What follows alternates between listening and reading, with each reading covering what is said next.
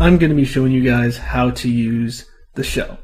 And for those of you who don't know, who have never used the shell or terminal before, this will probably be one of the most important videos you ever see, or at least for computers, uh, because what the uh, what the shell does, or what most people call the terminal, is it lets you it lets you navigate and run commands arbitrarily to do things. I, would say just do everything more efficiently. Like I do all my work in the terminal, um, and everything in, in, a shell. It's crazy. Um, it's crazy how efficient it is. But I'm gonna go ahead and show you how to do that. So um, I'm gonna go ahead and open up a window. So this right here is your command prompt. Um, there is a different there is a difference, of course, between what I call the terminal, the command prompt, and the shell. I might I might make a video on that, but um, for now, this is uh, this is where you um, put in on your commands, all that. Um, not only that, but it also acts as sort of a um, file a file viewer or file explorer, um, because this is you're able to edit and manipulate all your files just from here. So it's kind of a end all be all program to to use, even though the shell is just you know is uses other programs as well, but we'll get into that. So first things first, you'll notice this little prompt. Um, we can type in whatever commands we want. So I'm gonna go ahead and just find out um, where I am in my system. So I can print pwd for print working directory, and that'll tell me where I am. So I'm in the home folder, and I'm in the and I'm in Bryce. And you can actually abbreviate that for this tilde right here. This tilde actually just means your user's home directory. So I'm user Bryce, and this is my home directory, and so therefore it's a tilde. So that's very nice. Um, let's actually get into like viewing files, manipulating files. Um, but before I do that, one thing I should say is the the most important command. I actually made a video on this. Um, I think like a couple months ago. Uh, the most important command you can ever know when using the terminal is man. And what man is, is it'll bring up uh, something called a man page, or what most people call a manual. And you can actually run man man, just to show an example. Um, this will bring up a sort of summary of the command and all the arguments, everything for a specific command, all the information you'd probably ever need. Um, if you're ever stuck with a command or you don't know a command, you just run man and then the, and then whatever command you want, and it'll give you just that. So that's pretty good. Um, so the first command that we want, or that I said the most important command uh, for um, navigating around, is ls, and that will just list all the files and directories uh, in your current folder. So we're listing um, we're listing all the files in slash home slash Bryce or tilde for this for this um, particular folder. Um, so yeah, that's, here's all of our um, folder, uh, all of our uh, folders, and this one file right here. So another thing we can do is let's just say you have um, filled up your, you know, filled up your screen with a bunch of text, and you want to get rid of it. One way you can do that is you can press Control L, and it'll clear clear your uh, terminal display. Uh, this doesn't work on certain shells. For example, um, if you run if you run this command, which I'll explain in a moment, um, if you run this command, it'll actually tell you what uh, what shell you're running. And most people, if you're running a Linux system, you're probably running Bash. I run ZSH, which I might I might change in the future. But if you run Bash or ZSH or I think there's a few other shells that support it. Pressing Control L will clear your screen, but for some shells that won't work at all. Instead, you can just run you run the command clear, and no matter what, it'll clear your screen. So that's good. That's another um, very important command. Um, so let's go back to actually listing the file or listing our, our files. So what we can do is, um, as you can see, all of these um, the files in blue are actually directories, and this purple one is a video file. Um, so let's just say I want to go into my desktop directory. The way you actually move into a directory is you use the cd command, which stands for change directory. So I want to change directory into desktop. And so I'll be in my desktop directory. And of course, there's nothing in it because I don't have anything in my desktop directory. And if I do pwd, you'll see now, instead of being in just home slash Bryce, I'm in desktop. And now I'll actually show right here, you'll see it, it'll say tilde, tilde slash desktop. So that's pretty nice. Um, of course, if you want, if I want to go back to my home directory, I can just run cd, and instead of doing cd slash home slash Bryce, I can totally do that, and it'll bring me back. But if I run cd dot dot, uh, but dot dot is just an abbreviation for the previous directory on the hierarchy. So if I just run that, it'll just bring me back to my home directory. So that's a very nice alias um, to have. Or I could also run uh, cd, and if you run cd with no arguments whatsoever, it will always bring you back to your home directory no matter what. So I can go to cd drive videos. Let's do my videos.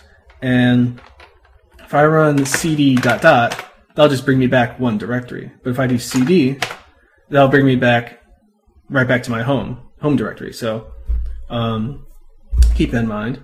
Uh, there's another ooh, uh, another command, uh, ls, uh, with the a argument. This will actually, because ls just will list all your visible files, but what ls.a will do is it will list all of the hidden files as well, because in Unix systems and Linux, um, there are hidden files. I mean, Windows does Windows does have hidden files as well, but they um, they have a different uh, sort of scheme to it.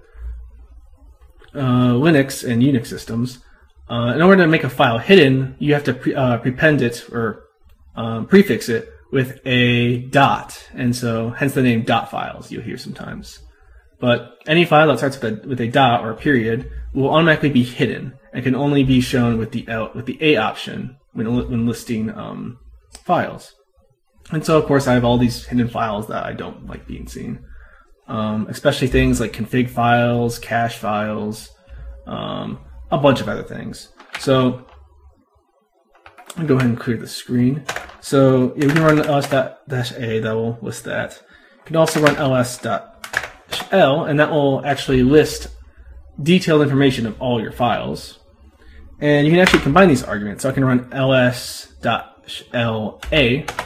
and that will not only list all my hidden files, but also list more detailed description of the files, including things like the size, the date they were made and modified, um, permissions, and everything in between. So that's some interesting information to have.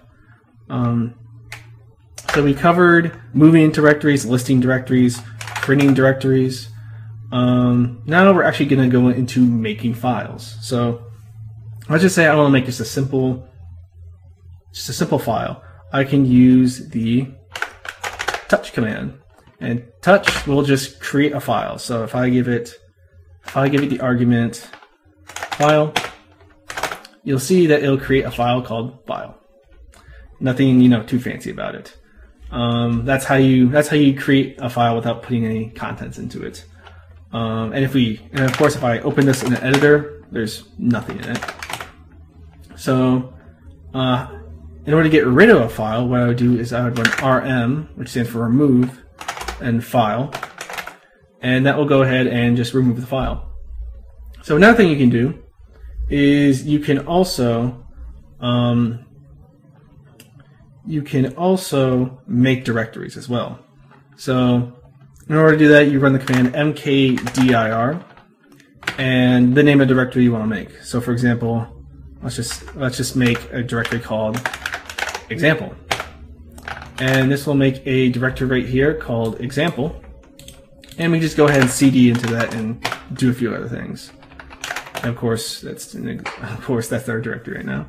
Um, and if we want to, um, of course, remove a directory, um, if a directory is empty, you can just uh, run remove directory and give example and it will just go ahead and remove it. No questions asked. Um, but if we actually have a directory with contents in it, there's something interesting. something interesting will happen. So if I make a directory called example again, so we have example. Uh, if we try removing it with the rm command, you'll see that rm does not remove directories. Hence, hence the need for rm dir or remove directory, which makes sense, of course. But let's go into example, and let's just create a bunch of files. So I'm gonna create a file called one, two, three, four, or uh, four separate files called one, two, three, four. And so we have four separate files named one, two, three, and four.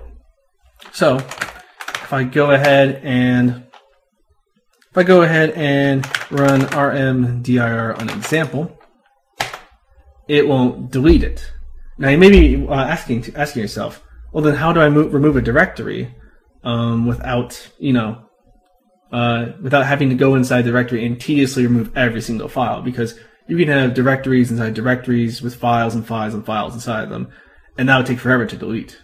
But luckily, there's a little hack for that. Not not a hack, but sort of a sort of something that's been included on purpose, I guess, but uh, something that may not be so obvious. So if we actually go to the man page for remove, you'll see um, that, that's that's an important thing too. Man pages are your, still your best friend. Um, one thing you'll find out is there's an R option, which stands for recursive, and basically what that will do is that will not only delete the file you want to delete, but or delete the, directory you want to delete, but also recursively de delete all the other directories inside of it, which is what we want. So, or in this case, files. So I can run rm-r and on an example, and as you can see, it will go ahead and delete our example directory with all the files inside of it. And of course, this is something you want to be careful of because one wrong command, if I run rm-r on, you know, my documents folder. That's not going to end well.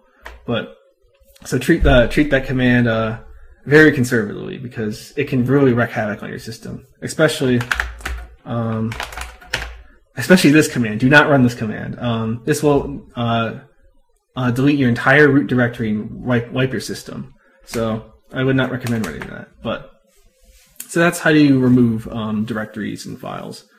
Uh, let's go ahead and actually figure out how to move and copy files. So uh, I'm going to go ahead and make a directory. I'm going to make another directory. I'm going to call it, uh, I don't know, uh, dir. And let's cd into that. And let's create a file called text. And let's create another one called um, example. So now we have two files in here. Uh, I'm going to go ahead and actually put some text inside of text. Um, this is text. Okay. So now we have these two files. Um, one has text, one doesn't. So what I'm going to do is I'm actually going to go ahead and move text to a different directory. And you can do that with the mv command. And I'm going to go ahead and move text to my home directory, which is tilde. And of course, it'll go ahead and move it. So if I go back, you'll see that text is there. And if I print the contents of the file with cat, you'll see this is text. Also, another side note, the cat command, which is short for concatenate, it's a mouthful, I know, um, will go ahead and just spit out all the contents of your file as is. And so in this case, we're catting text, and we have text. So let's actually go ahead and remove that. So we can go ahead and remove files, or not remove files, um, move files. Um, you can also copy files. So for example, I go to my example file. I'm just going to say this is an example. So I can go ahead and copy that. And let's copy example. And let's call it, I don't know, um, file. So now we have two files. Uh, one is actually a copy of the other. And if we cat both of them, you'll see they have the same exact contents. So that's nice. Um, we can also, um, so copy, uh, copy will, cop, will of course copy the file and allows you to actually, um, you know, move files and give them different names. But you can also rename a file by using move.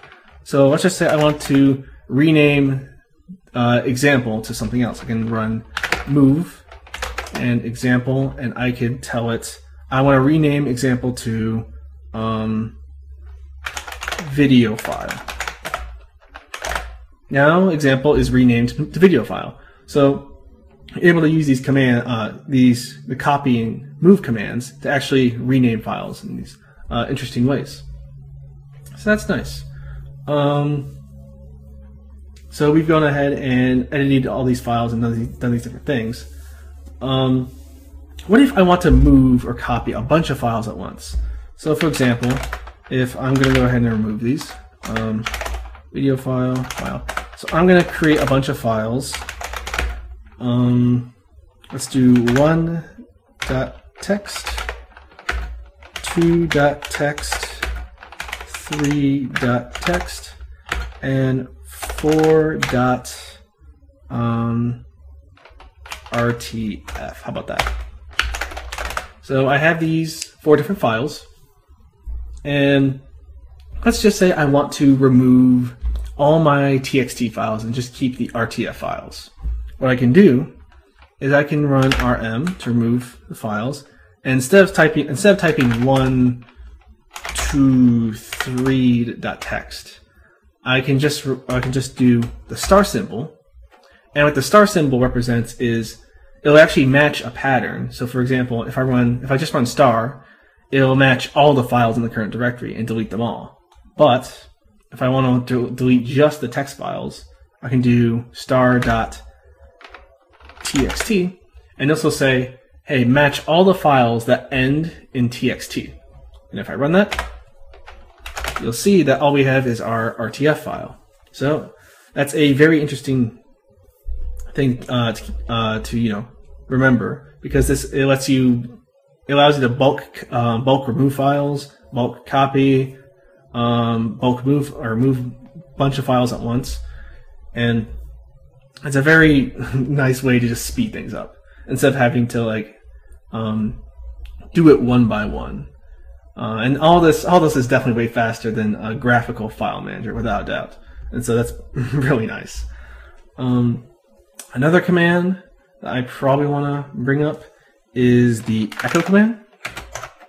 And what the echo command will do, it, it will just echo, you know, whatever you give it. So if I say test, it'll just go ahead and echo it. Uh, you've seen me use this in a few videos in the past.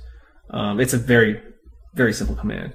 But it's also able to echo variables, which is one thing I, one thing I'm going to show you right now is um, your shell actually supports creating variables. So for example, when I ran earlier, when I ran echo dollar sign shell, what this is, is any anything starting with a dollar sign is actually a variable. And so in this case, we have the shell variable, which in this case is set to zs slash bin slash zsh, which is our shell. Or if you're running bash, it's slash bin slash bash or any other shell you're running. Um, but we can make variables, and let's just say I'll I'll have an example one. Let's do var, and it's all you need is just um, a variable name and then the equal sign and then whatever value you want, give it. In this case, let's say hello. hello. And so now we have a variable called hello, and if we echo it, we will get hello. And so that's that's the basics of uh, shell variables. There's also other variables that are built into your system or that are automatic. For example, the path variable is the path to all your executable files. Um, yours may not look like mine, but or exactly like mine, but should look um, about the same. And there's a bunch of other variables that you can use and for different things, but you can use man pages to look that up. um, another very important uh, command I would say is sleep, or maybe not very important, but might be useful. And sleep uh, will sleep, let's just say I give it the argument of 2. It will sleep for 2 seconds and then quit. And there we go. That's all that sleep does. Uh, but you can, of course, chain that with other commands to do certain things. But one thing I should bring up is if you run, let's just say I run, let's just say I accidentally run um, sleep 100. oh no, I, oh no, I messed up. Um, what do I do? Do I have to wait 100 seconds or close up my terminal and open it up again? Because that would really be a pain. But what you can do is most shells support exiting out of um, commands that are running. And to do that, you can just press Control C, and it'll just go ahead and escape out of the current command that you're running uh, every time. So I can just run that. And so I don't have to um, wait 100 seconds every time I run that command. So that's good. Uh, or if I mess up and do run a command I wasn't supposed to, I can just quickly press Control C, and it will go ahead and cancel the command. Um, there's also oh, there's also a very uh, important, uh, very important, um, maybe not super important, but a very useful feature that you can do. You can create aliases, and what an alias is is an alias will basically let you disguise or alias a command as another command. For example, I have um, in. Let me go back here. I'm going to go back to my home directory and delete uh, this directory because we don't need it anymore. But if I open config, um, you'll see I actually have some aliases over here. Um, and these, these just and these are just some examples of aliases. But let's just say I want to create an alias for um, rm-r. Um, I can do alias, oh,